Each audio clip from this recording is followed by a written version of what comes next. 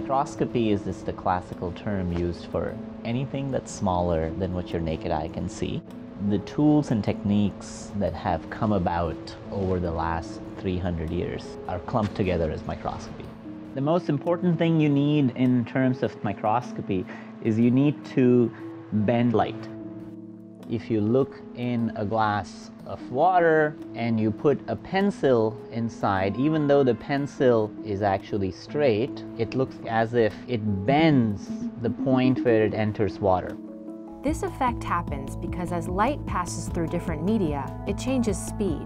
Since water is denser than air, the wavelengths of light actually slow down as they pass from air to water. This is called refraction. Microscopy is all about using surfaces to bend light in different ways to make an image that was initially small very large. As light travels from the object through a lens, it is bent or refracted, and the image appears stretched. The stretched light falls on a sensor, either your eye or a camera, and that's where the virtual image forms. A Foldscope is an origami-based paper microscope that you fold together by your own hands and then you have a completely functional instrument that you can do field microscopy. You can carry it in your pocket.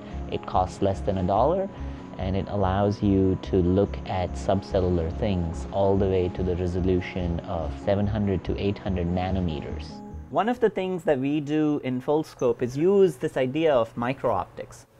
Micro-optics are optical components that are small. The smallest micro-optics that we have used has been around 200 microns, which is smaller than a grain of salt. The smaller a circle is, the more curved its surface. And the higher the curvature of a lens, the more the light passing through it can be bent. In the highly curved lenses used in the Foldscope, light can be bent at very sharp angles. The smaller the lens, the sharper the angle, and the higher the magnification. One of the things that people don't realize is even though our optical elements are simplistic in their form, to understand them very well took a very long time. To me, physics and math is the language of design in some way. If you cannot actually understand the fundamental basis of something, then even if you have a good design idea, you cannot implement it. We need designers in the world who can also solve partial differential equations. And I think that's very valuable to aspire for.